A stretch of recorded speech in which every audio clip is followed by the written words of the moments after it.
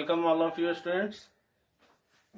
Now, present time I am discuss all of you linear equation of pair of linear equation of two variables. ठीक है तो इसमें हम जो discuss करने जा रहे हैं आपको pair of linear equation of two variables इसमें हम एक्सप्लेन करेंगे इससे पहले आपको कुछ चीज़ें जो हमने बता चुके हैं उसी के बारे में हम पहले एक्सप्लेन करें आपसे कि two x minus one equal to यहाँ फाइव दिया हुआ है तो इस तरह के जो सॉल्यूशन होंगे तो इसमें टू एक्स इक्वल टू अगर हम एक्स की वैल्यू देखें तो एक ही वेरिएबल है जिसका हमें वैल्यू निकालना है, ठीक है?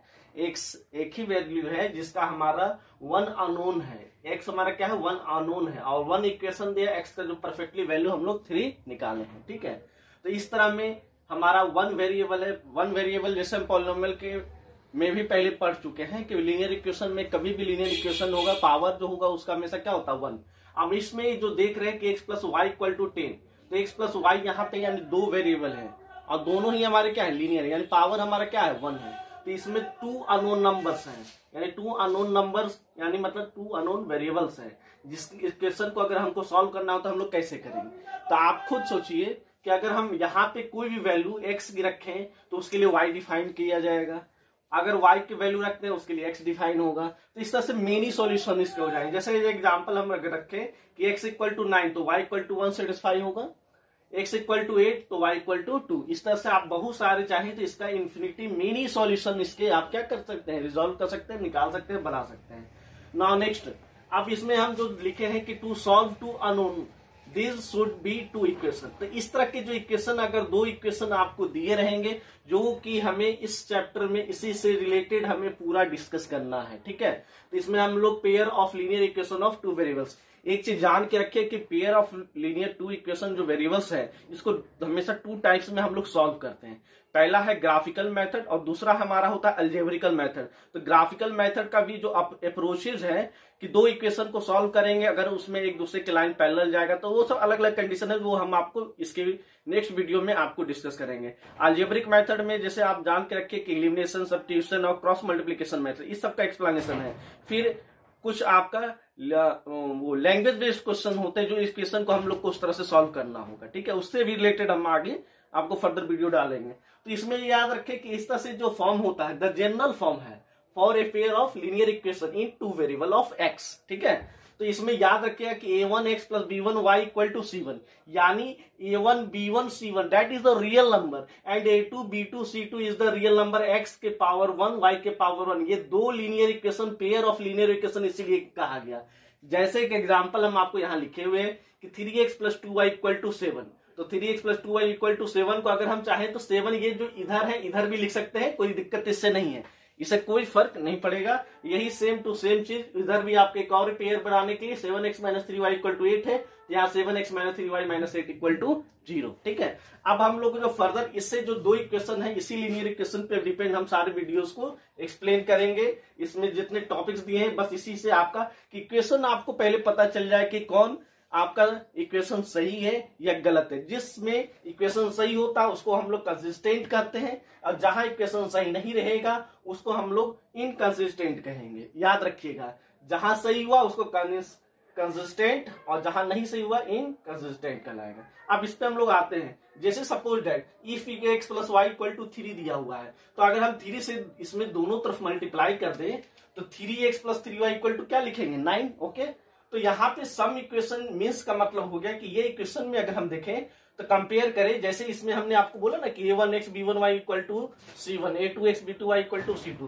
तो कंपेयर करके देखें तो a one by a two equal to b one by b two equal to c one by c two तो इस तरह से जो हमारा दिया है तो सारे हमारे क्या हो गए? सारे रेशियोज बराबर हो गए। तो ये जो इक्वेशन होगा कंसिस्टेंट होगा और इक्वेशन इन्फिनिटी मेनी सॉल्यूशन होगा। मतलब कहने का है कि जो इक्वेशन कंसिस्टेंट का मतलब बस इतना समझ के रखिए कि समीकरण जो दिया हुआ, यानी इक्वेशन जो दिया हुआ, वो हमारा क्या होगा? सही होगा। कंसिस्टेंट का मतलब यही हुआ।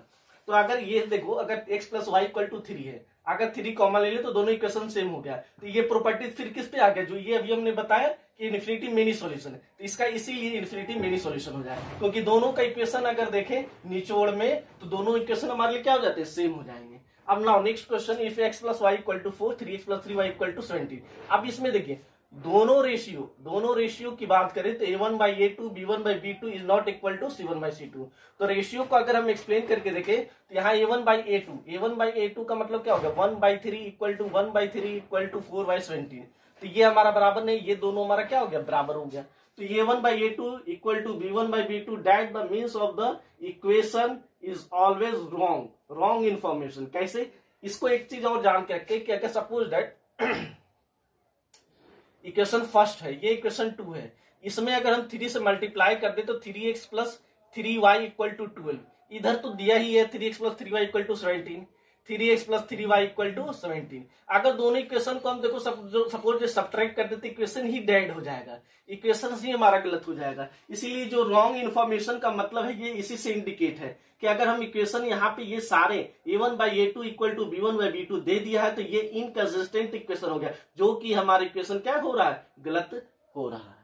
Now next if x plus y equal to four x minus y equal to one यहाँ हम लोग कंसिडर कर सकते हैं कि a one by a two और b one by b two यहाँ पे a one by a two की बात अगर करें तो वन बाई वन और equal to one by minus one तो ये दोनों हमारा बराबर नहीं है। यानी बराबर नहीं होने का मतलब है कि c one by c two यहाँ पे इक्वल नहीं है। यहाँ यहाँ के हम लोग को जब यूनिक सॉल्यूशन की बात होगी तो ये कंडीशन हमेशा याद रखिएगा कि a one by a two is not equal to b one by b two और इसका हमेशा जो होगा यूनिक सॉल्यूशन होगा और ये इक्वेशन जो है सेटिस्फाई होगा, इसको हम लोग कंसिस्टेंट इक्वेशन कहेंगे। अब इसी से कुछ एग्ज़ाम्पल आपको एक, दो, तीन तीन इक्वेशन हम आपके सामने रखे हैं, जिसको हम लोग फर्दर इसकी इन्फॉर्मेशन से रिलेटेड जो है, इसको चेक करेंगे और कैटेगरी इसका पता करेंगे कि कौन सा इक्वेशन आपको कंसिस्टेंट है और क्या उसका सॉल्यूशन हो रहा है। तो पहला क्वेश्चन को अगर हम ध्यान दें तो यहाँ पे a one a one equal to three a two equal to इस इक्वेशन को देखा जा रहा a one equal to three a two equal to two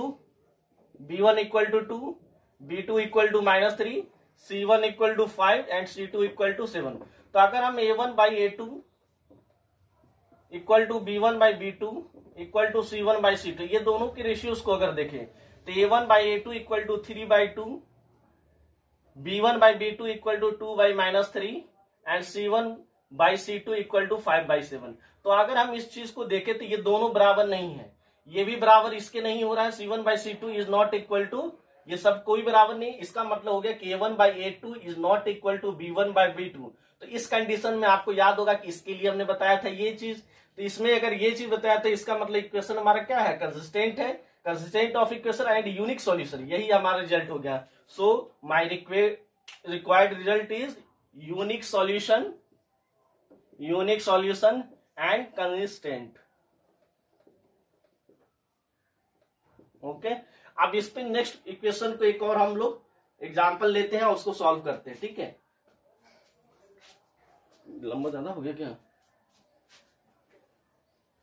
कहा रख दिया वो कपड़ा?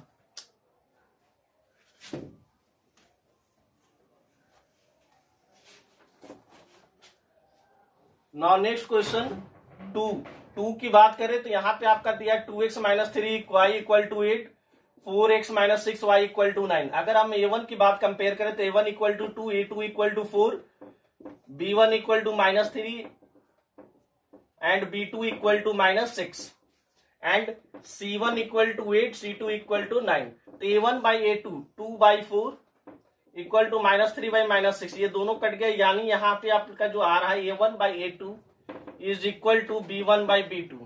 और वन बाई सी टू ये आप देख रहे हैं कि दोनों हमारा बराबर नहीं है। तो ये जो हमारे पास आ गया, ये हमारा रॉन्ग इक्वेशन है। जैसे इसके अपवर्ड साइड में हमने इसका एग्ज़ाम्पल आपको इसके ऊपर में डिनोट करके रखा है। तो इसमें याद रखिएगा कि ये जो हम इक्वेशन यहाँ ऊपर के साइड में जो देख रहे हैं, इसमें हमने क्या बताया था कि रॉन्ग इन्फॉर्मेशन और इनकन्सिस्टेंट यानी इक्वेशन जो दिया गया है वो हमारा सही नहीं है, वो हमारा वैलिड नहीं है। इसी के लिए आपको इनकन्सिस्टेंट कहा जाता है। और इसका जो सोल्यूशन होगा no solution now next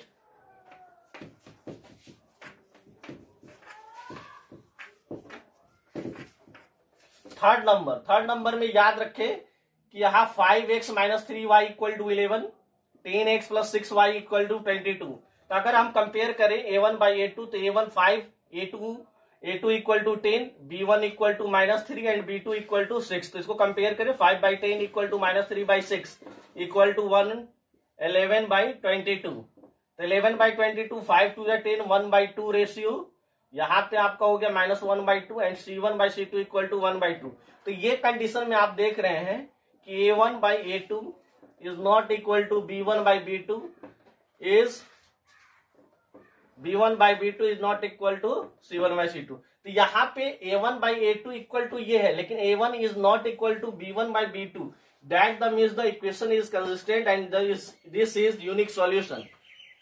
Unique solution and equation are consistent.